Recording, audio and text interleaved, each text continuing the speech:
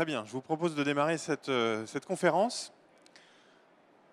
Alors j'ai prévu de vous présenter euh, les facteurs clés de réussite dans les services à la personne. Sachez que j'ai prévu un temps d'échange parce que j'ai prévu une présentation, je dirais, généraliste, qui ne répondra peut-être pas à toutes vos questions. Donc n'hésitez pas à les noter ou lever la main, c'est avec grand plaisir, on partagera ensemble vos questions et les réponses. Donc, euh, je suis Eric Schneider, je, suis le directeur du développement euh, franchise internationale pour le groupe O2. Pour ceux qui, ne le connaîtraient pas, le groupe O2 est le leader du, secteur des services à la personne, multispécialiste dans les activités de ménage, garde d'enfants et de personnes âgées à domicile. Et. Pardon, petit problème de technique.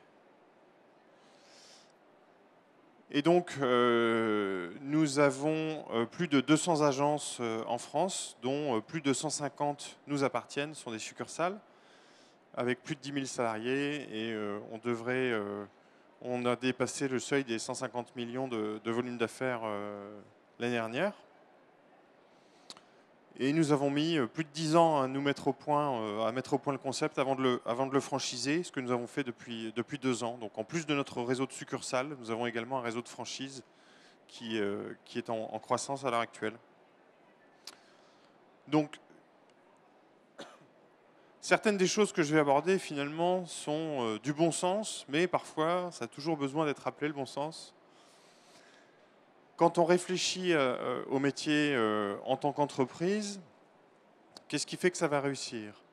Alors la première question, ou le premier, élément fondamental, c'est une dimension humaine. Alors ça paraît évident, ça l'est encore plus dans nos métiers. Pourquoi? Parce qu'on est sur du service, donc on vend quelque chose qui n'est pas tangible.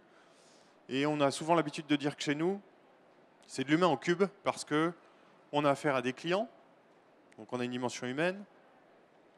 Les clients auxquels nous avons affaire ne sont pas forcément les bénéficiaires des services. Quand vous avez les parents pour les enfants et pour euh, les personnes âgées, ce sont les aidants.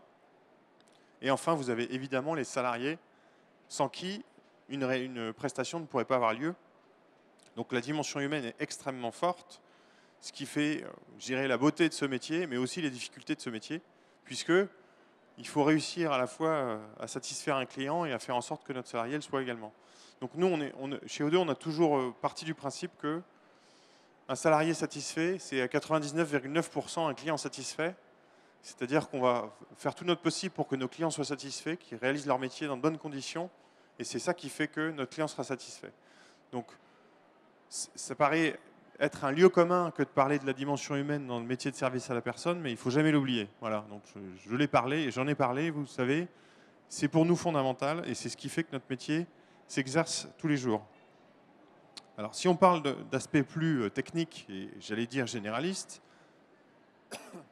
si on regarde un petit peu le marché, il y a différentes études qui existent sur le marché des services à la personne en France, avec des chiffres qui sont un peu différents, mais globalement, toutes vous diront le marché fait plus de 25 milliards, 4,5 millions euh, de ménages qui utilisent les services à la personne, et euh, sur les services qui nous concernent euh, chez O2, à savoir euh, le ménage, la garde d'enfants et l'aide aux personnes âgées, on est sur des marchés qui, font chacun à peu près 10 milliards.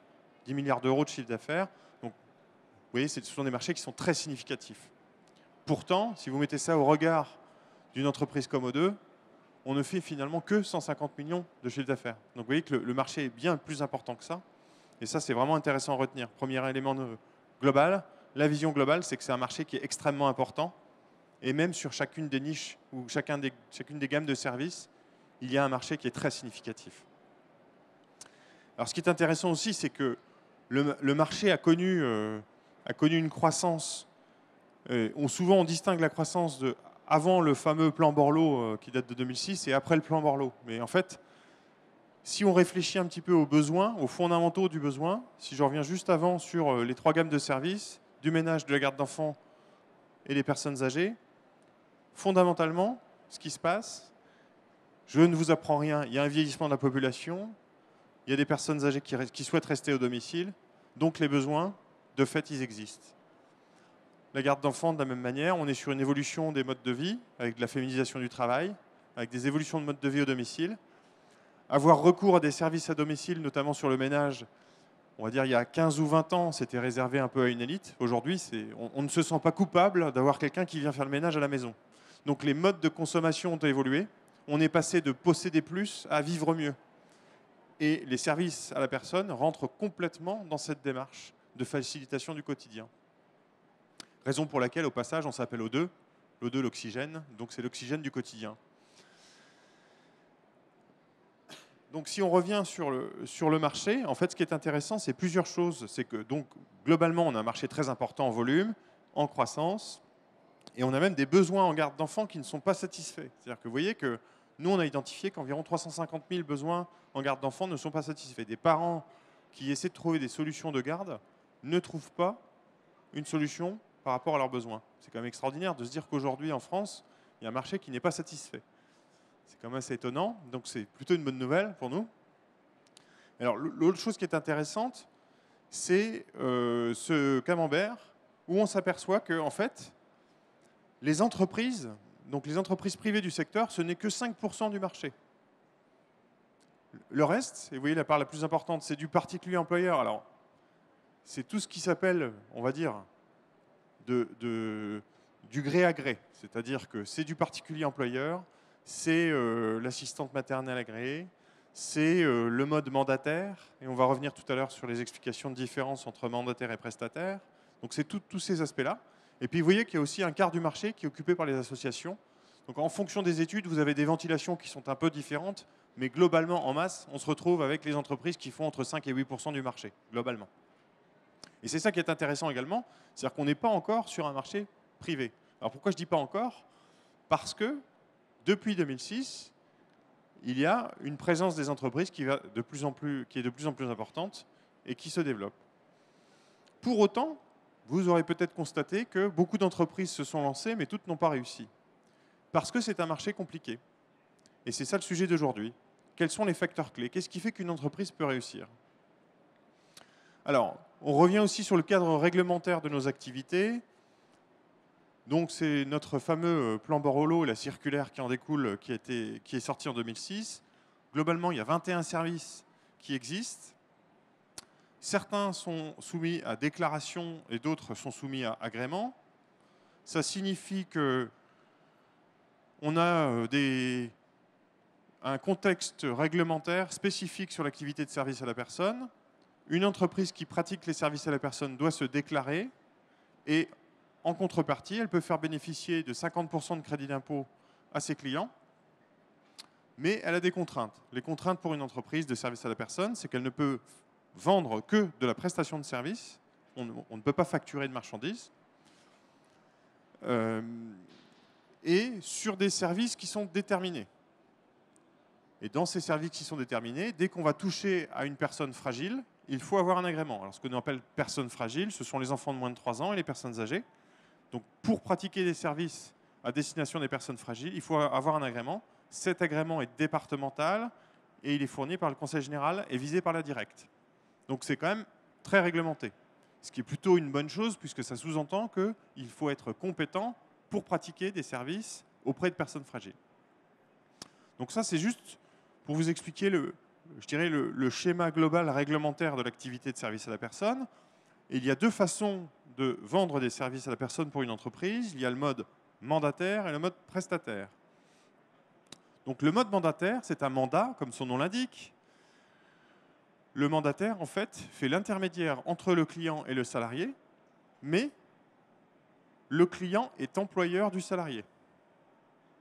Et le mode prestataire, mode que, nous pratiquons euh, chez O2, en fait, O2 est l'employeur de tous ses salariés. Et le client a finalement uniquement un contrat de client. Donc d'un côté, vous avez le client qui peut être employeur, de l'autre côté, il n'est pas employeur. Et ça change complètement la configuration, puisque euh, le, la responsabilité sociale n'est pas portée par les mêmes parties. Donc voilà, sachez qu'il y a deux modes qui existent euh, dans, cette, euh, dans cette activité. Alors, si on vient un petit peu plus dans le détail sur la mécanique économique d'une entreprise de service à la personne, et encore une fois, si vous avez des questions, n'hésitez pas à les noter et puis on pourra échanger. Parce que s'il y a une personne dans l'Assemblée qui a une question, il est vraisemblable que d'autres personnes aient les mêmes questions. Donc n'hésitez pas, vous pourrez les poser juste après. Alors, la première chose, c'est maîtriser la croissance. C'est-à-dire que la façon dont nous calculons la marge, euh, marge d'une entreprise sur un service, c'est donc le prix qui est facturé au client et ce qui habituellement dans une entreprise s'appellerait euh, le, prix d'achat de la marchandise, la marge habituellement c'est le prix de vente moins le prix d'achat. Eh bien nous en fait on calcule le coût complet d'une heure facturée, c'est-à-dire qu'on va calculer combien coûte une heure de prestation de service. Dedans on intègre l'ensemble des éléments, le salaire, les charges, la visite médicale, l'équipement de travail, la formation, etc., etc., etc. On va intégrer l'ensemble de ces coûts pour se dire qu'une heure vendue va nous coûter à prester un certain montant. Et c'est ça qui va permettre de déterminer la marge. Et quand on fait ces calculs, on s'aperçoit que finalement la marge, elle n'est pas très très importante. Donc ça veut dire que le premier sujet, c'est un sujet de volume. C'est-à-dire que pour pouvoir être rentable, eh bien, il faut pouvoir avoir un certain volume. Et la question d'après, c'est que si on a beaucoup de salariés, beaucoup de clients, le problème, c'est de faire de la qualité. Donc, il faut maîtriser la croissance. Donc, le premier sujet, vous le voyez, je l'ai mis en haut, c'est augmenter les volumes. Une fois que j'ai augmenté mes volumes, le deuxième sujet, j'ai mis juste après, c'est fidéliser ses salariés. C'est pour ça que je vous disais tout à l'heure, si vos salariés sont satisfaits, vos clients seront satisfaits. Donc l'objectif, c'est trouver et garder les bons salariés. Ensuite, optimiser la marge et enfin fidéliser ses clients. Et vous avez vu que j'ai mis le client en dernier. Pas que je, me considère comme, comme commerçant, mais je ne peux fidéliser mes clients que si j'ai fait le reste. Donc, on va positionner notre salarié en premier pour s'assurer que c'est la bonne personne au bon endroit, qu'on va pouvoir la garder le plus longtemps possible pour qu'elle puisse satisfaire nos clients. Donc, je reviens à mon élément de tout à l'heure, augmenter les volumes, avoir une marque forte et un relais local incontournable. Comment faire pour obtenir des volumes? Donc, on a travaillé chez nous sur euh, ce qui s'appelle, euh, ce que les marketeurs appellent euh, la, communication à 360 degrés. Qu'est-ce que ça veut dire? Ça veut dire qu'on va essayer de se positionner sur l'ensemble du parcours de vie de nos potentiels clients, tous nos prospects. Si on réfléchit par exemple, un exemple concret en garde d'enfants, c'est relativement facile, puisque ça va toucher généralement, euh, généralement ce sont les mamans. Alors n'y voyez aucun sexisme de ma part, mais il se trouve que nos clients sont plutôt des clientes. Donc on va essayer de réfléchir à qui est notre cliente ou notre prospect, comment elle se comporte, et on va essayer de se positionner sur tous les axes de communication possibles. Donc on a de la communication nationale, on fait de la radio, on fait de la télé, on a évidemment du web, avec beaucoup d'informations. On, fournit extrême, on, fait ce qu'on appelle de la pédagogie du client. Le client qui a recours au service à la personne pour la première fois, il ne sait pas comment ça fonctionne. Donc notre rôle, avant toute chose, c'est de faire de la pédagogie de découverte. Même si c'est de plus en plus rare, parce qu'on a quand même beaucoup de clients qui ont déjà eu recours à des services à la personne, soit en direct, soit avec une autre entreprise, ou etc., etc on a quand même un rôle fondamental. C'est un nouveau marché, donc on a un rôle de pédagogie qui est très important.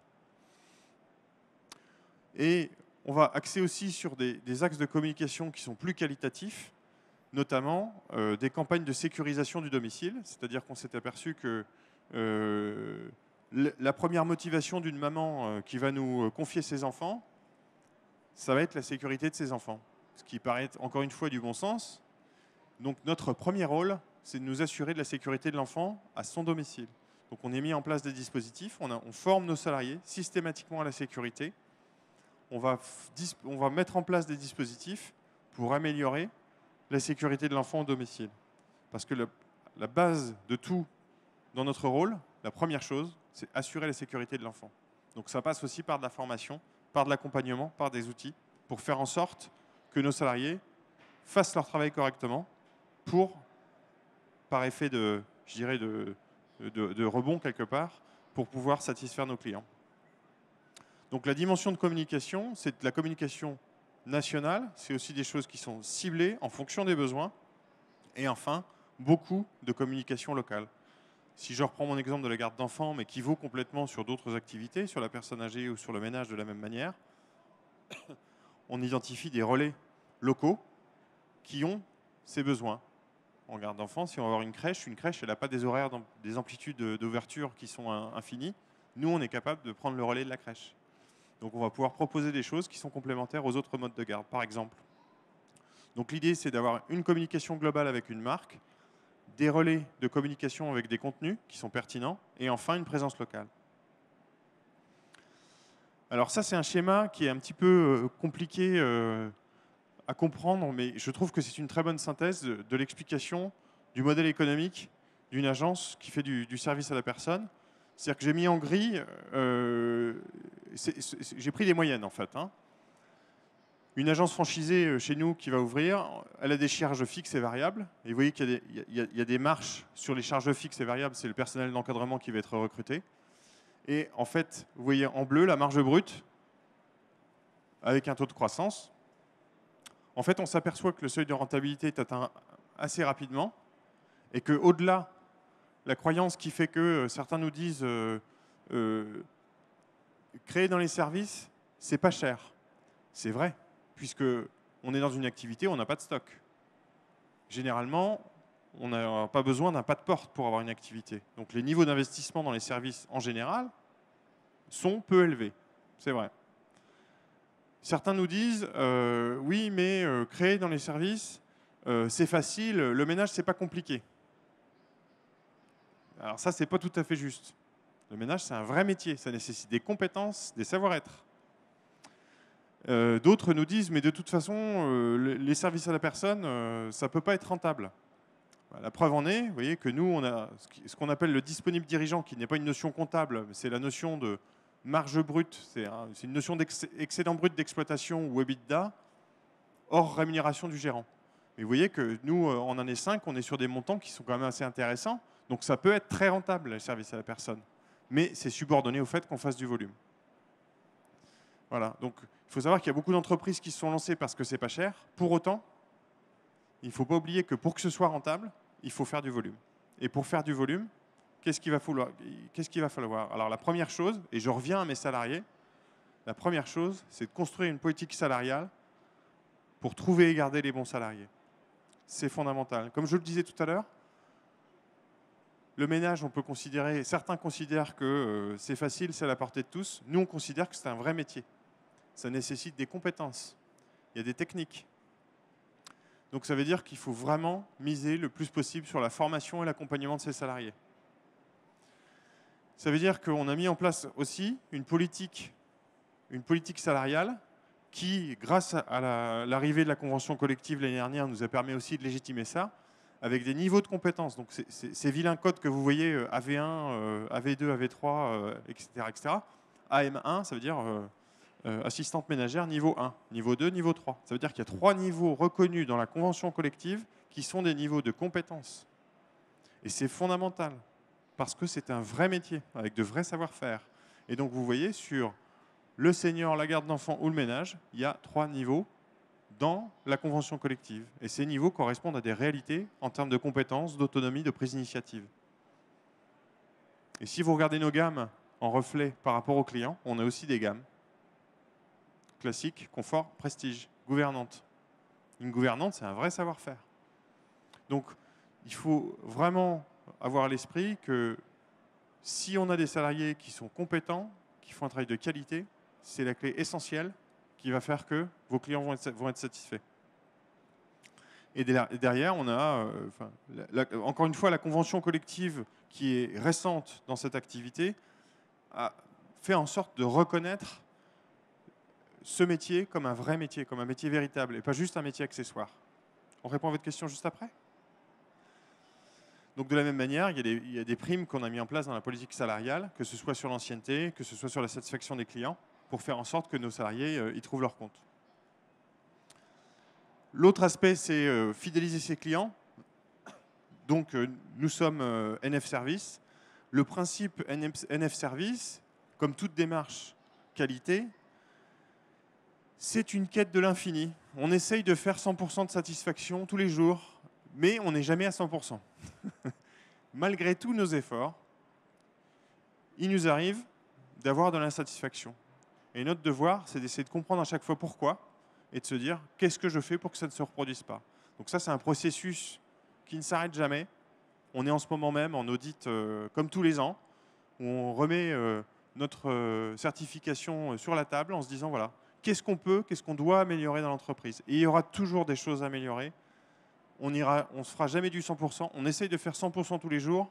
Mais quand on gère de l'humain, que ce soit vis-à-vis des clients, vis-à-vis des salariés, vis-à-vis des aidants, vis-à-vis de la famille, vous savez sans doute que l'humain n'est pas une machine et donc euh, il faut savoir anticiper et gérer et que la démarche de qualité, ce n'est pas une démarche finie. On n'est pas euh, du tout au même stade de, gestion de la qualité chaque année. Chaque année, on améliore des choses. On teste, on améliore, on mesure et on recommence. Et on n'arrêtera jamais.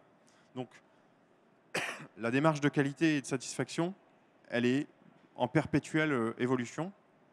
C'est un, peu la nature des, choses. L'avantage de travailler avec une certification telle que NF, c'est que c'est une, certification qui est normée, qui est spécialisée dans le service et qui nous permet aussi de prendre du recul par rapport à la façon dont on fait les choses. Ce qui est intéressant, c'est qu'un auditeur, il vient vous voir, il est extérieur, il est neutre, il va vous dire, bah, ça, c'est un dysfonctionnement. Et du coup, nous, on ne l'a pas vu, évidemment. On ne commet pas des erreurs volontairement. Hein. Donc l'objectif de la certification et de la démarche qualité, c'est vraiment de travailler au quotidien dans de l'amélioration continue, et ça ne s'arrête jamais. Dernier point sur maîtriser la croissance. L'idée, c'est d'avoir du volume, comme je disais tout à l'heure. Donc nous, on a, travaillé sur deux axes principaux en termes de système d'information et d'organisation d'entreprise. Une partie sur le recrutement, on le disait depuis tout à l'heure, hein, trouver et garder les bons salariés. Ça signifie faire en sorte que on ait le plus de candidats possible. Regardez, ne serait-ce que sur ce salon aujourd'hui, on a un stand exposant et on a un stand recrutement. Parce que l'objectif, c'est d'essayer d'attirer à nous le plus de candidats possible pour pouvoir identifier ceux dont on pense qu'ils sont capables de travailler et de trouver leur euh, épanouissement dans l'entreprise. Donc ça passe par des sites de recrutement, ça passe par des volumes de traitement, des conventions nationales, des conventions locales, avec euh, notamment le pôle emploi, euh, avec avec différents instituts, organismes sur le sujet. Ça passe aussi par de la formation. Et l'autre partie pour maîtriser la croissance, c'est faire en sorte, grâce à un système d'information, de pouvoir gérer l'ensemble des informations qui vont tourner autour du client et du salarié. Donc, on a une organisation d'entreprise qui fait qu'on a un service client qui est ouvert de, de 7h à 20h tous les jours. On peut répondre à notre client à tout moment. Parce que vous, quand vous êtes dans une agence, si vous êtes déjà avec un autre client ou euh, en train de faire un entretien avec un salarié, il n'est pas question que votre téléphone sonne et que vous répondiez à votre client. Donc on a trouvé une organisation et un système d'information qui permet de faire ça, qui permet de gérer l'information toujours en temps réel. J'ai répondu à mon client, je traite votre information et faire en sorte qu'en agence au niveau local, on garde ce qui pour nous est le plus de valeur ajoutée, c'est-à-dire la proximité du client et du salarié. Donc on a euh, dans notre système d'information une base client des gestions de planning. On gère en automatique. Tous nos salariés sont équipés d'un smartphone sur lequel ils ont accès à leur planning, à la feuille de route. Ils vont pouvoir scanner chaque intervention au début et à la fin, ce qui est un élément de sécurité qui est quand même assez intéressant, puisqu'on est sûr, par exemple, que euh, les enfants, s'ils sont à la sortie de l'école, si dans les 15 minutes, euh, le scan n'a pas eu lieu, on a une alerte, on peut réagir tout de suite. Exemple concret, mais ça peut aller beaucoup plus loin. Euh, on a aussi mis en place des, systèmes de, télégestion et d'échange en direct avec nos salariés. Parce que la difficulté dans les services à la personne, comme je vous le disais, les salariés c'est fondamental, mais le problème c'est que vous ne les avez pas sous la main. Ils sont chez vos clients. Donc la difficulté managériale, c'est d'être capable, finalement, quelque part, d'être présent quand ils en ont besoin, sans l'être physiquement. Donc il faut trouver des dispositifs, des solutions et des organisations qui permettent cet échange avec vos salariés tout en contournant quelque part euh, l'aspect de proximité physique qui n'est pas toujours possible.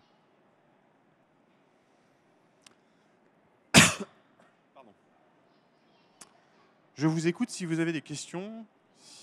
C'est toujours, la première qui est difficile. Euh, je crois que vous avez une question, madame.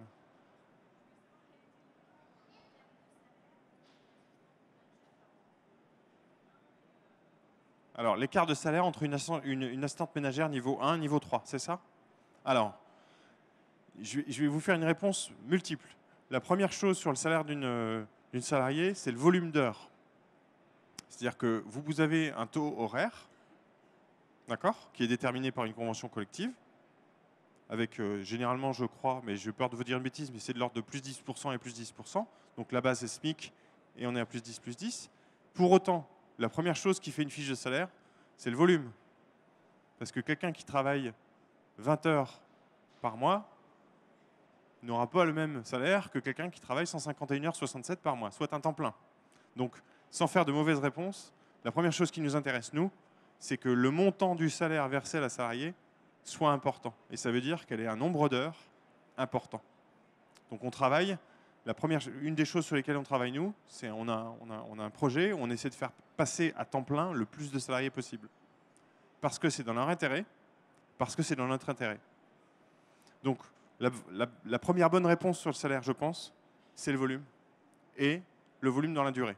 C'est plus on va contractualiser un volume d'heures important, plus notre salarié va avoir une garantie de revenus mensuels. C'est ça qui nous intéresse. Voilà.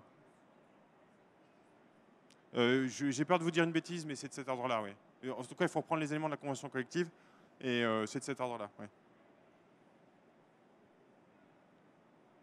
Donc, euh, encore une fois, je pense qu'il faut vraiment regarder les volumes horaires des salariés. C'est l'indicateur souvent qui est le plus intéressant, parce que la première chose qu'un salarié vient chercher, c'est une fiche de salaire, c'est un montant mensuel. Et ça, ce qui vous permet de la, entre guillemets, de la garantir, c'est le volume contractualisé et payé. Bonjour. bonjour. bonjour. Je voulais savoir euh, si vous avez des. voilà, je voulais savoir si euh, vous connaissiez euh, le chiffre, enfin le, taux de turnover, parce que souvent dans les métiers de service à la personne, malheureusement, y, a le turnover est assez important. Euh, savoir quelles sont les mesures que vous mettez en place justement pour euh, contrer ce turnover et connaître également la, moyenne d'âge des, salariés, de vos salariés. Alors, moyenne je, vais répondre, je vais répondre dans le désordre, ça ne vous embête pas. Moyenne d'âge 34 ans sur l'entreprise, 99% de, de, femmes. Euh, voilà. Sur la partie turnover, sans faire une mauvaise réponse, c'est très variable. Alors, ce qu'il faut intégrer, c'est que les, bassins d'emploi ne sont pas les mêmes d'une zone à l'autre. Donc là, on est à Paris, par exemple. Quand on est à Versailles, on n'est pas du tout sur la même situation de l'emploi qu'à l'est de Paris ou au nord-est de Paris. Donc en fait, un bassin d'emploi ne vaut pas un autre bassin d'emploi. Et une ville de province ne vaut pas une autre ville de province. Autre exemple, si vous prenez euh, dans l'ouest, vous prenez Nantes et Le Mans. Nantes, on est sur un, bassin d'emploi qui est tendu, c'est-à-dire qu'il y a on, est en, on, est en, carence, hein, alors qu'au Mans, ce n'est pas le cas. Vous voyez, donc en fonction de la situation économique et du bassin d'emploi, on aura des réponses différentes. Pour autant, selon nous, la, première chose qui va avoir un impact sur le turnover, qui, comme je vous le disais, est variable hein, d'une agence à l'autre, chez nous, sur le marché en général, mais chez nous aussi, on a des variations importantes d'une agence à l'autre. Le critère principal, c'est le volume le volume d'heures contractualisées. Nous, l'indicateur qualitatif le plus intéressant, c'est ça. Plus vos salariés ont des heures, plus ils ont un salaire, plus ils vont rester chez vous. Donc c'est une des choses sur lesquelles on va travailler, sachant que, en fonction des métiers, ménage, garde d'enfants, seniors, on a des profils qui sont différents par nature, mais on a aussi des, des contraintes différentes. C'est-à-dire qu'en garde d'enfants, je ne choisis pas mes horaires d'intervention tous les enfants ont la mauvaise idée de sortir de l'école à même heure, donc il faut que je me plie à cette euh, contrainte horaire. Et donc je n'ai pas vraiment de choix dans la construction de mon planning. Raison pour laquelle la façon dont on travaille de plus en plus, c'est de travailler à des mixités de profils, c'est-à-dire des profils de candidats ou de salariés qui sont capables de pratiquer plusieurs métiers et qui vont faire une passerelle d'un métier vers un autre. Parce qu'il y a beaucoup de personnes qui ont, je dirais, une, une appétence forte pour les métiers de la garde d'enfants et du senior, et qui rentrent chez nous parce qu'ils n'ont pas les diplômes et les expériences, encore une fois, pour faire, pour, pour faire une activité agréée personnes fragiles, il faut des diplômes. Et les personnes qui viennent chez nous qui n'ont pas ces diplômes, donc elles rentrent chez nous souvent sur le métier ménage, eh bien on, va, on fait en sorte de les former pour les emmener vers ce métier pour lequel ils ont une appétence, de la garde d'enfants ou de la personne âgée. Et l'idée, c'est d'avoir justement des profils mixtes, multimétiers, pour avoir plus de volume. Parce que plus de volume égale moins de turnover. Vous voyez un peu la logique? On est, sur une logique, euh, je dirais presque inversée. Il y a beaucoup de business qui se basent que sur le client. Nous, à chaque fois, on réfléchit à notre salarié pour satisfaire le client. Et après, comme je vous disais, il y a tous les autres aspects qui sont moins objectifs et plus subjectifs. C'est plutôt une dimension managériale.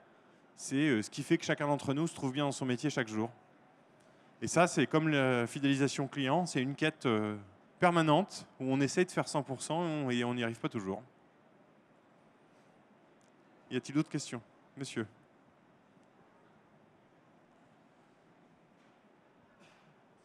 Oui, bonjour. Bonjour. J'aurais souhaité savoir quel était votre point de vue sur l'évolution du métier en fonction des changements de réglementation qui, qui vont bientôt euh, arriver. Oui. Notamment la, bascule des, du régime vers euh, du régime d'agrément vers la bascule de, régime d'autorisation. Donc votre vision euh, sur les impacts sur ce métier, quelle est-elle?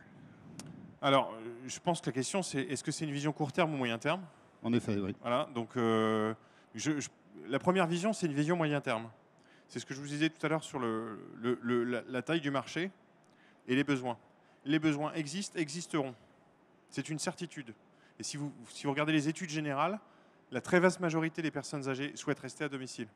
La très vaste majorité des aidants souhaitent que les personnes restent à domicile. C'est voilà, ça c'est un état de fait. Donc on sait que les besoins sont là et vont croître parce que il y a un vieillissement de la population. Et c'est quand même le, enfin, dire une bonne nouvelle en termes de marché. C'est-à-dire vous avez une certitude sur le fait que votre marché, dans la durée, il est présent, constant, croissant. Donc ça, c'est vraiment une très bonne chose. Après, pour répondre plus précisément à votre question de, euh, du changement de réglementation au 1er juillet, parce que c'est de ça dont on parle, il y a un changement de réglementation qui va intervenir au 1er juillet 2016, qui, va remettre en cause le principe d'agrément dont je vous ai parlé tout à l'heure. Alors, je n'ai pas parlé du changement de réglementation parce qu'on n'a pas encore toutes les infos à date là-dessus. On n'a pas tout. Donc, euh, nous, on est en train de faire la mesure d'impact. Le principe, c'est de dire globalement, plutôt que de faire un agrément, il y aura une autorisation, donc c'est une modalité qui est un peu différente, et qui va modifier notamment la prise en charge. L'autorisation, c'était le dispositif qui existait dans l'association jusque-là, le principe, c'est que le Conseil général, de la même manière, doit valider la compétence technique de l'acteur, et en plus, va déterminer les prix. Donc la question à court ou, à moyen terme, c'est une question de prix. C'est si, si euh, on est sur un dispositif d'autorisation, quel est le prix? Et il faut que le prix soit raisonnable, selon nous. Quand on dit raisonnable, c'est-à-dire faire en sorte que l'entreprise et le salarié y trouvent leur compte. Donc aujourd'hui, on est en train de mesurer l'impact de, euh, de ces dispositifs. Fondamentalement, le fait qu'il y ait une réglementation qui protège les personnes fragiles, à notre sens, est une très bonne chose. Parce que, euh, sauf qu'aujourd'hui, si vous regardez bien, le particulier employeur n'a pas les mêmes obligations. C'est-à-dire que vous êtes plus protégé pour vos cheveux que, pour, que pour vos enfants ou vos grands-parents. C'est-à-dire que pour être coiffeur, il faut un CAP ou un BEP. Mais en tant que particulier, vous pouvez embaucher n'importe qui pour vous occuper de vos grands-parents ou de vos enfants. Donc nous, fondamentalement, on considère que le fait qu'il y ait une réglementation qui s'assure de la compétence et de la qualité des acteurs pour pratiquer ces métiers auprès des personnes fragiles, c'est une bonne chose c'est bien de se dire qu'on fait un métier qui est professionnel, qui nécessite des compétences, des formations, des diplômes. Fondamentalement, on est complètement d'accord avec ça. C'est une très bonne chose et on a intérêt à protéger les personnes chez qui on intervient, notamment dans l'intérêt des salariés. Donc moi, je n'ai pas du tout de doute là-dessus. Et après, le dispositif, que ce soit autorisation ou agrément, c'est plus un dispositif de modalité de fonctionnement. Mais je pense que, enfin, au fond, je pense qu'il n'y a pas d'antagonisme entre des entreprises et des associations, je pense que de toute façon, il y a un besoin qui est là, et notre rôle à chacun, c'est de faire en sorte que ce besoin soit satisfait. Et après, il y a ensuite une réalité qui est économique, qui est un autre sujet, qui fait que vous avez trois types d'acteurs, associations, particuliers et entreprises, qui ont des régimes finalement qui sont différents. Donc la question, c'est ça, c'est est-ce que ces trois modalités de fonctionnement ne devraient pas avoir euh, une forme d'unité de fonctionnement, puisqu'on a trois acteurs ou trois modes de traitement d'un marché, qui ont des modalités de fonctionnement différentes. D'un point de vue général, je pense que tout ce qui va dans le sens de la professionnalisation de ce secteur est une bonne chose, puisque ça veut dire qu'on reconnaît les compétences des salariés, ça veut dire qu'on va pouvoir les former, ça, veut dire qu'on va pouvoir faire un travail de qualité. Ça, c'est forcément positif dans la durée, surtout sur un marché qui, a des besoins, on le sait tous, euh, qui, vont aller, euh, qui vont aller croissant. Donc sur l'impact économique, je pense que de toute façon, il sera variable d'un département à l'autre, puisque comme vous savez, ça que le Conseil général a sa politique et notamment de prix. Donc moi là-dessus, je ne sais pas répondre à, l'instant T. moi je pense que dans la durée, euh, tout ce qui va contribuer à la professionnalisation du secteur est une bonne chose. Voilà. Et effectivement, euh, nous on l'a vu depuis fort longtemps, euh, on a toujours des petites remises en question et des choses comme ça, mais au fond, il y a des besoins et notre, notre job c'est de les satisfaire.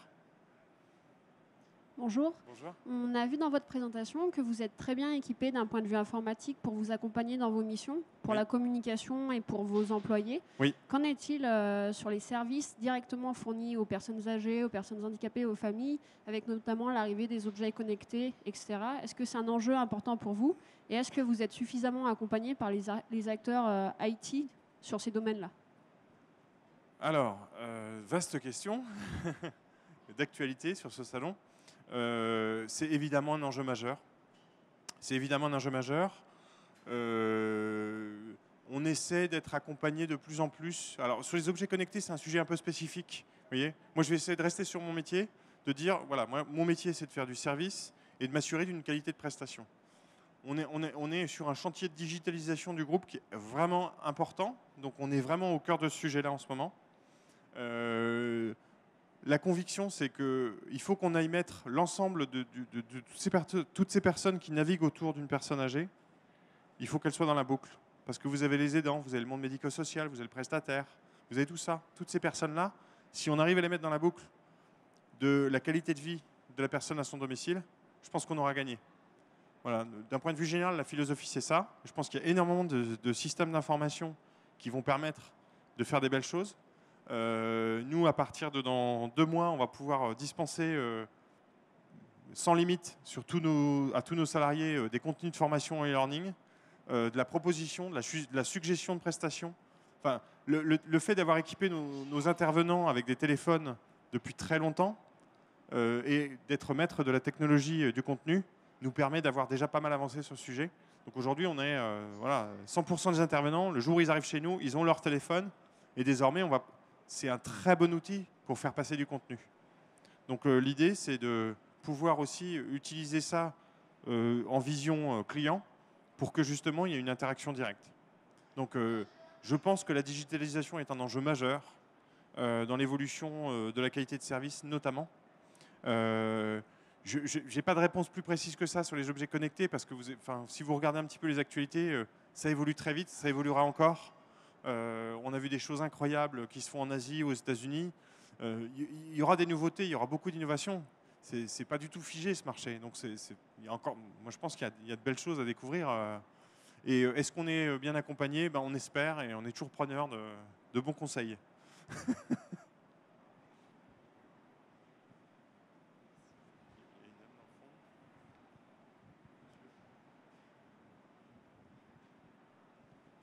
Bonjour. Bonjour. Euh, Comment est-ce que vous faites pour euh, comment est-ce qu'on peut faire pour libéraliser, enfin pour euh, libérer la consommation des services? Je parle hors personnes âgées. Comment est-ce qu'on fait pour inciter les gens à plus passer par le black? Comment est-ce qu'on fait pour, en termes d'innovation de service, pour faire en sorte qu'un maximum de gens consomment du service? Euh, pourquoi, pourquoi les clients font du black? À cause du prix. La première conviction, c'est ça. C'est-à-dire que l'origine du plan Borloo, c'est quoi? C'est de dire le black, grosso modo, c'est 10 euros de l'heure. Les entreprises, grosso modo, c'est euh, entre 18 et 20 euros de l'heure. Donc, je fais 50% de crédit d'impôt. Et au final, ce sera concurrent. Et c'est ça qui s'est passé. La Belgique est allée plus loin que nous encore. hein. Les dispositifs de réglementation en Belgique sont beaucoup plus forts. Le, le prix de l'heure en Belgique pour le client, c'est 5,60 euros, 5,50 euros. Donc, ils ont fait disparaître le travail au noir en 3 ou 4 ans. Donc, ce qui fait qu'un client a recours au, noir, au non déclaré, c'est le prix, c'est le fait de ne pas comprendre ou ne pas avoir conscience de ce que ça, implique, notamment en termes de sécurité pour le salarié. C'est ça les deux aspects principaux. Donc nous, plus on va être, on va justifier, expliquer, donner du sens sur la valeur ajoutée du service qui est livré, plus on donnera de bonnes raisons à notre client de passer par une entreprise. Si le client il a la même chose au black que- qu'en passant par une entreprise, bah pourquoi est-ce qu'il passerait par une entreprise? Donc l'idée c'est de se dire que pourquoi je vous parle de sécurisation sur la garde d'enfants? Parce que le fait de dire à, mon client tous mes salariés sont formés à la sécurité, Ça, c'est un gage de sécurité qu'il n'aura pas en passant en direct. Je suis employeur, je porte, je porte la responsabilité d'employeur, ce n'est pas lui qui la porte, je lui apporte un service, un réel service, une valeur ajoutée. Si euh, ma salariée est malade, euh, en formation, en vacances, je ne sais pas, moi, je gère pour lui le remplacement. Donc tout ça, c'est des choses que je vais faire qui, ont de la valeur et qui justifient le fait qu'on passe par une entreprise. Donc selon moi, une entreprise elle a lieu d'être si elle a une valeur ajoutée. Si c'est pour proposer la même chose que ce qu'il va trouver en direct, ben, on est tous euh, consommateurs par ailleurs. Euh, si on peut voir la même chose à moins cher, on va acheter- on va acheter la même chose à moins cher. Donc à mon, sens, il faut expliquer, donner du sens sur les valeurs ajoutées qu'on apporte, sur le rôle social qu'on apporte aussi, parce qu'on est employeur, et sur la facilitation de service. Et c'est ça qui fait que on donne le choix toujours au client, et le client, il va vers ce qui lui convient mieux. Bonjour. Euh. Je ne vous vois pas. Ah, vous êtes caché. Bonjour. Bonjour. Euh, il me semble que vous intervenez sur la quasi-totalité des services à la personne. Est-ce que à fait, oui. néanmoins vous avez des clients ciblés Ah oui. et comment vous vous démarquez par rapport à la concurrence Et est-ce que vous avez recours à l'intermédiation Alors, qu'est-ce que vous appelez la concurrence Bah, Privé Les autres, Privé oui, oui, privé, oui, oui. D'accord. Oui, parce que comme on disait tout à l'heure, oui. la concurrence privée, c'est que 5% du marché. hein. Donc, euh, ce que je considère, moi, comme concurrence, c'est pas forcément les entreprises privées qui sont là. hein. La première concurrence, c'est le travail au noir, c'est le non déclaré. C'est celui-là qu'il faut regarder en premier. Euh, donc, il y a beaucoup de questions. Alors, je vais essayer de ne pas en oublier. Euh, sur la multiplicité de services, comme je vous le disais tout à l'heure, nous, nous nous considérons comme multispécialistes. Chaque gamme de services, chez nous, on a des équipes dédiées en interne, en support, chef de marché, chef de produit, expert métier. On a des trinômes. L'expert métier, ça peut être un, docteur en gérontologie, par exemple. Euh, le chef de marché, euh, il est spécialisé dans le sujet. Donc nous, a en fait, on fait toujours un travail global mais transverse sur chacun des segments de marché, chacun des segments de gamme de services qu'on propose. On va essayer d'aller le plus loin possible dans la compréhension de la gamme. Et dans notre organisation interne que ne voit pas forcément le client, s'il appelle pour du ménage ou de la garde d'enfants ou du senior, il n'aura pas le même interlocuteur.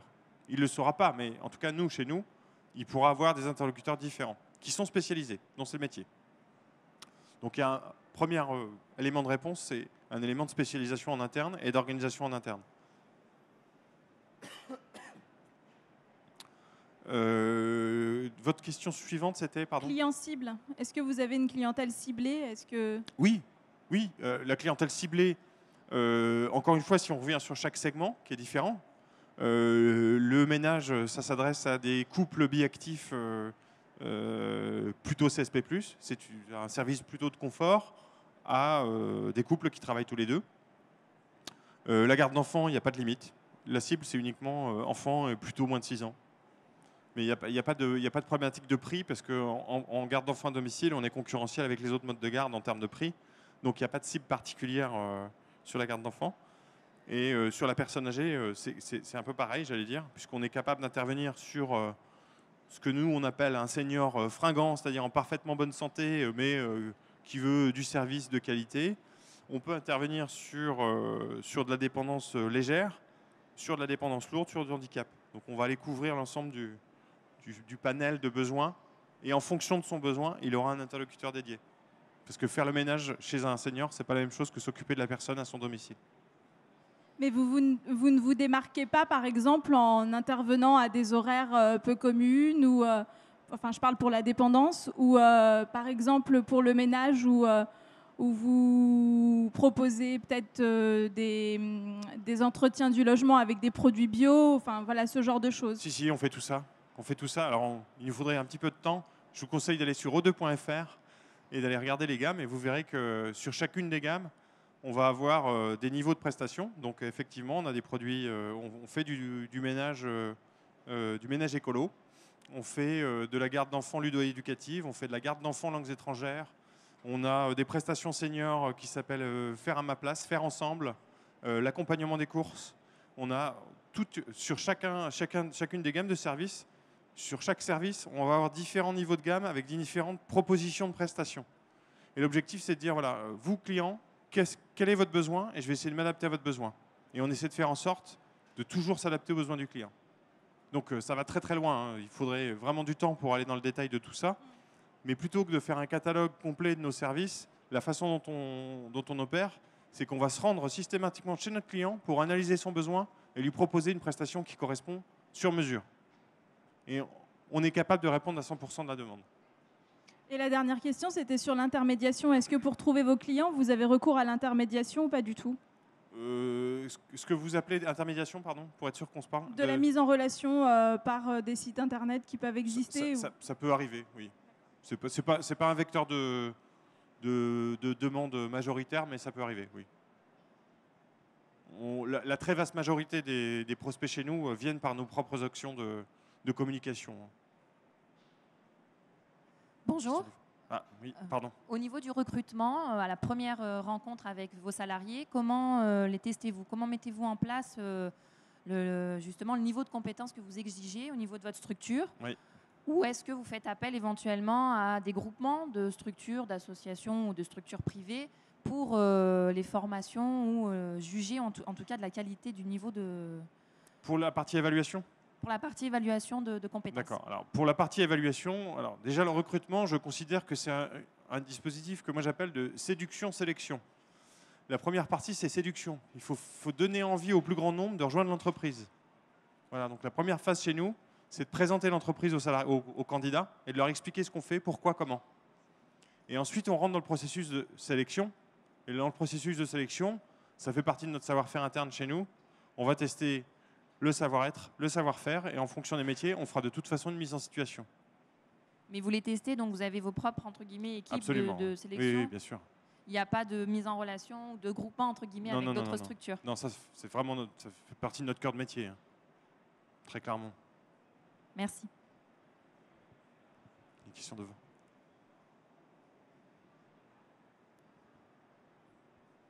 Euh, bonjour. Bonjour. Je, vois que vous êtes directeur franchise et international, donc c'est-à-dire que vous êtes sur un projet euh, de développement aussi de franchise à l'international ou, pas, ou autre chose.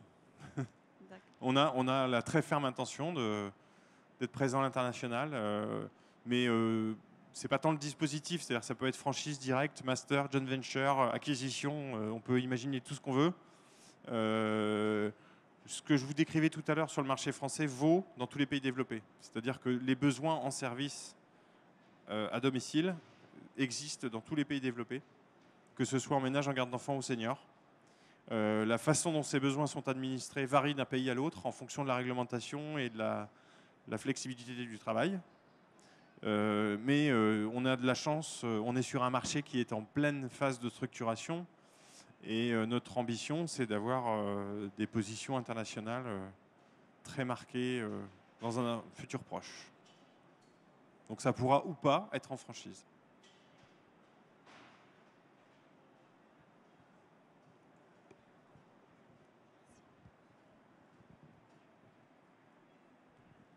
Oui, une question sur votre politique prix. Euh, aujourd'hui, euh, vous avez des prix à l'heure, vous avez des forfaits. Qu'est-ce que vous en pensez? Est-ce que vous réfléchissez à des... Alors, dans la réglementation euh, de service à la personne, on doit, on doit vendre des heures. Donc ça, ce n'est pas un choix. Si vous allez chez les Américains, ils arrivent, ils vendent de la prestation en forfait. Ils vous disent, voilà, votre maison, c'est tant par mois. Et ils arrivent à trois, il y en a un qui fait les vitres, l'autre les sols, etc., etc. Nous, on ne peut pas faire ça en France. La réglementation, c'est vous vendez des heures. Euh, je ne sais pas, mais en tout cas, nous, on, se, conforme strictement à la réglementation qui précise qu'on euh, vend des heures. Euh, donc, sur la politique prix, comme je vous disais tout à l'heure, il y a des gammes de services. À chaque gamme correspond un prix. Et ensuite, on a des dégressifs sur le volume. C'est-à-dire que plus le client va consommer de volume, s'il va consommer euh, du ménage et de la garde d'enfants, le volume cumulé des deux va lui, octroyer une remise. Pardon? Oui, enfin, le forfait peut-il être un, levier? Euh, Oui, peut-être, mais c'est pas, euh, pas un frein en soi. Enfin, je pense pas que ce soit. fondamentalement, je suis pas sûr qu'on ait un problème de prix en fait. Hein. Je, pense que le sujet de fond, encore une fois, il faut venir sur le fondamental du besoin. C'est-à-dire que si votre client a un besoin, euh, le sujet, il est bien comprendre son besoin et de lui trouver et de lui, assurer une prestation qui correspond à son besoin. Et quand vous faites ça correctement, on ne parle pas de prix. Et oui, à un moment donné, il faut en parler évidemment, il faut être transparent sur le prix. Mais le, sujet principal qui fait que votre client vous a appelé, ce n'est pas le prix. Il ne vient pas acheter un prix.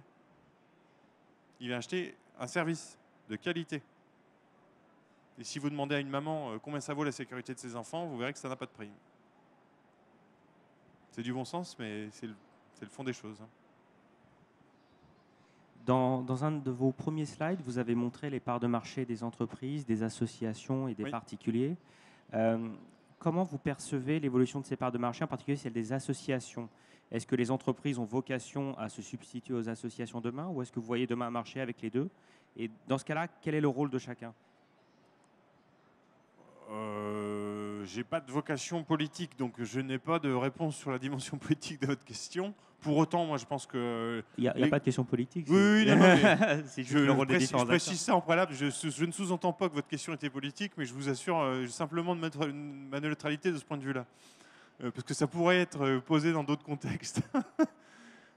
Donc, moi, moi, je pense qu'il faut revenir à l'essence de, l'origine des associations. Hein. Les associations, elles ont, elles ont été créées parce qu'il y avait un besoin non satisfait, notamment dans le milieu rural, de personnes âgées à domicile. Et elles ont, elles ont rempli une tâche extraordinaire et formidable de s'occuper de, personnes âgées. Il y a énormément de bénévoles qui travaillent pour des associations et euh, c'est complètement euh, respectable. Donc moi je pense qu'on n'a pas, euh, pas vocation à se substituer l'un l'autre. Encore une fois, moi je reviens au fond du besoin. Mon job, c'est de faire en sorte que le besoin des personnes à domicile soit satisfait. Et en cela, je ne considère pas une association comme concurrente. Comme je vous disais tout à l'heure, encore une fois, les entreprises, elles font 5% du marché. Donc, enfin, avec une croissance qui est telle que. Enfin, est-ce qu'on a un problème de concurrence? Non. La première chose qui m'intéresse, moi, c'est de me dire comment est-ce qu'on fait pour empêcher le travail au noir, dont je rappelle quand même qu'il empêche l'existence sociale, sociétale de salariés, de travailleurs, que pour la collectivité, c'est ce qu'il peut y avoir de pire, puisque la collectivité ne touche pas de charges, pas de TVA, pas d'impôts et c'est la négation complète de, la réalité d'un métier. Donc pour moi, ce qu'il y a de pire, c'est le non déclaré. C'est ça, le, premier sujet avant tout autre, c'est comment devons-nous faire pour faire en sorte, et c'est pour ça que la question de ce monsieur était très pertinente, comment devons-nous faire pour faire en sorte que le particulier n'ait pas recours à du travail au noir? Parce que dans l'affaire, tout le monde est perdant. Tout le monde est perdant. Le particulier est perdant, il fait prendre des risques qui ne sont pas raisonnables à des, salariés qui de fait n'en sont pas. Le salarié n'a pas d'existence ni sociale ni sociétale, son travail n'est pas reconnu, il n'est pas protégé, il n'a pas de couverture sociale, il ne cotise pas la retraite. Et la collectivité, en plus, elle paye deux fois. Parce qu'en général, la personne qui fait du noir, ça n'empêche pas de toucher les allocations, des aides, etc., etc. Donc la collectivité, elle perd deux fois. Donc je trouve que le premier sujet, le sujet principal qui doit nous préoccuper, c'est ça. C'est faire en sorte qu'on soit meilleur pour faire en sorte qu'un particulier n'ait pas recours au travail au noir. Et à mon sens, c'est ça qu'on doit viser en premier. Oui, bonjour. Moi, je voulais savoir. C'est moi. Ah, bonjour. Bonjour. bonjour. Euh, je voulais savoir, moi, O2, il œuvre dans quelle euh, zone plus urbaine que rurale? Euh, de, de, moins en moins urbaine. Historiquement, oui, mais désormais, pas du tout. Puisque, en fait, dans l'histoire de, l'entreprise, on a ouvert 70 euh, agences en 2007, des agences succursalistes qui nous appartiennent. Et à l'époque, euh, dans le plan de développement, ben, on a pris les grosses agglomérations. Donc historiquement, oui, tout à fait, on a démarré par des grosses agglomérations. Aujourd'hui, on, est en on est en train de compléter notre maillage territorial, même s'il n'est pas encore total, hein, de loin. Mais on ouvre dans euh, des villes qui sont de dimension beaucoup, beaucoup plus réduite. On ouvre à on est à Redon, on est à Château-Gontier, on est à... Ça fait plus de 20 000 habitants à peu près. Euh, oui, un, peu, un, peu, on est plutôt à 25 000, oui. Oui, voilà. Ouais. Mais on est en train d'y arriver. Hein. On a euh, ouvert là, au nord-est de Rouen, et il y, a pas, y, 12 000 habitants. On a ouvert à, Brumat, on a ouvert, enfin vraiment des, des, zones où il n'y a pas du tout d'agglomération. J'entends bien. Vos critères de développement, quand même, sont en fonction du nombre de populations. Il y a un ensemble de critères, euh, mais euh, on n'a jamais corrélé une performance à une zone. Jamais. Jamais. Non, mais ça n'engage que vous. Ah, c'est des chiffres, c'est des faits. que ce soit en succursale ou en franchise, hein. que ce soit chez nous ou les franchisés on n'a pas de corrélation entre la zone et la, et la réussite. Hein. Mais encore une fois, c'est logique. Hein.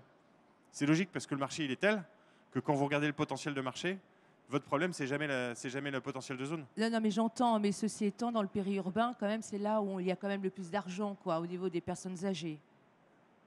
Sauf qu'il y en a aussi tellement ailleurs. Encore une fois, sur un marché de 25 milliards, vous voyez ce que je veux dire C'est votre remarque est très juste, effectivement. Il y a plus de personnes en urbain et il y a plus de personnes riches en urbain. Oui, tout à fait, c'est très juste. Pour autant, on a démontré de très nombreuses fois, on a des agences qui ne sont pas en, zone urbaine, et désormais de plus en plus, et elles connaissent le même développement qu'en zone urbaine. Donc c'est pour ça que je vous dis, je n'ai pas de, je n'ai jamais réussi à corréler une croissance, un développement, une réussite avec une zone, factuellement. factuellement. C'est pour ça que encore une fois, si on se met au regard d'un marché de 25 milliards, il n'y a pas vraiment de débat en fait.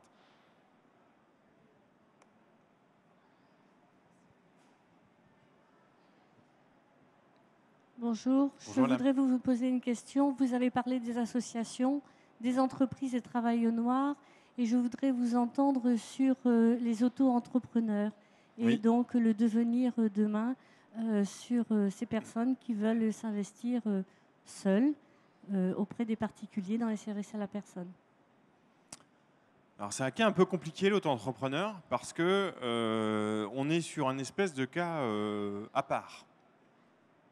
Donc on est sur une espèce de, de grille juridique, on va dire.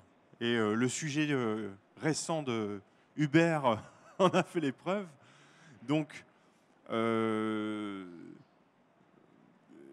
Aujourd'hui, le dispositif d'auto-entrepreneur bénéficie d'une fiscalité intéressante. Pour autant, à ma connaissance, sauf à ce que je me trompe, il ne bénéficiera pas forcément de la protection d'un salarié, notamment sociale et de cotisation. Donc, une fois encore, tout ce qui peut contribuer à faire en sorte que le besoin soit satisfait de façon professionnelle me va bien.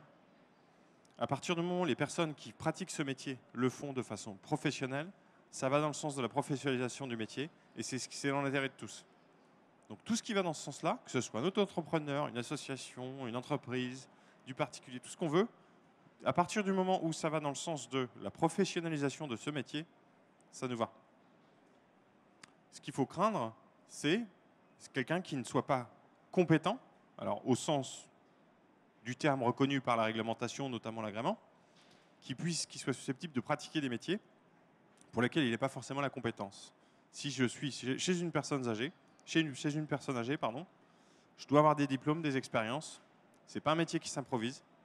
Faire de la garde d'enfants, ça s'improvise pas. C'est un vrai métier. Donc je reviens toujours à mes fondamentaux, mais c'est vraiment le sujet.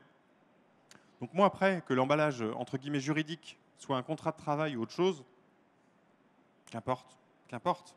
Ce qui compte, c'est vraiment que la personne qui preste soit professionnelle. Et après, il y aura toujours de l'intermédiation, il y aura toujours... Euh, tout, ça, ça existe, ça existera. Hein. Mais encore une fois, c'est à chacun d'être meilleur. C'est à chacun de faire son travail de façon professionnelle. Bonjour. La dernière question, je regarde l'heure qui tourne et je sens qu'il va me faire un petit signe, le monsieur. Donc j'écoute la dernière question. Bonjour. Bonjour, j'ai une double euh, problématique. J'ai une question au niveau de la confiance. En fait, je, je vais m'abonner à un service de service à la personne pour mes parents et je pars en même temps à l'étranger. Donc deux questions. Et je pars en même temps à l'étranger dans 2-3 mois. Euh, deux questions. Pourquoi est-ce que je vous ferai confiance? Euh, J'ai eu déjà plusieurs problématiques avec des intervenants. comment est-ce que je serai rassuré que vos intervenants viendront chez mes parents? Et après, j'ai une problématique au niveau de, des échanges que je vais avoir avec mes parents, très simplement. Très bonne question. Euh, vous aviez dit tout à l'heure que tous vos intervenants avec des smartphones. Est-ce que vous m'enverriez un SMS ou un email à chaque passage? Alors je vais faire même mieux que ça, c'est que vous avez accès en direct sur votre extranet. En temps réel, vous avez le planning et les interventions avec les heures de début et heures de fin. Donc vous avez accès aux infos en direct. Alors première question pour, la première chose pour répondre à votre question, c'est que vous, vous ferez confiance si j'ai bien compris votre besoin. Si j'ai bien compris votre besoin, celui de vos parents. Voilà, c'est les deux premières choses qui vont faire qu'on va pouvoir travailler ensemble, c'est ça. Il faut qu'on soit bon dans la compréhension de votre besoin et de celui de vos parents. Ça, c'est la première chose pour la confiance. La deuxième, c'est comment est-ce qu'on va pouvoir gérer de l'information et vous n'êtes pas présent physiquement. Ça, pour le coup, c'est exactement. On parlait tout à l'heure de digitalisation. Alors, ça existe déjà. Hein. Aujourd'hui, on a déjà un extranet. Un client chez nous, il reçoit déjà l'ensemble des échanges d'informations en direct. On lui fournit un code, il a accès à l'extranet. Vous avez, en tant qu'aidant, vous avez accès à toute l'information en temps réel.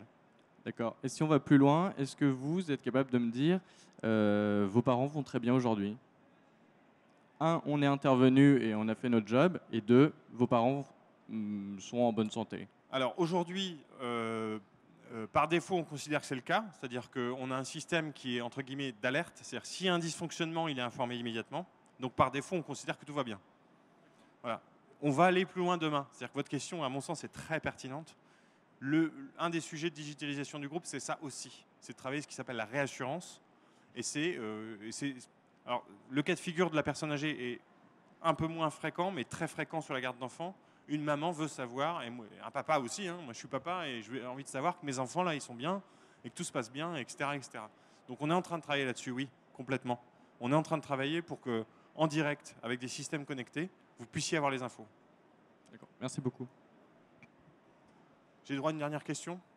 Non oh, Une petite dernière. Allez, une dernière.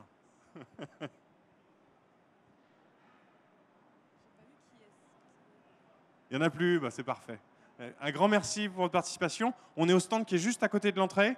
Si vous avez des questions, on a des équipes formidables qui répondront à tout ça. Je vous souhaite une très bonne journée.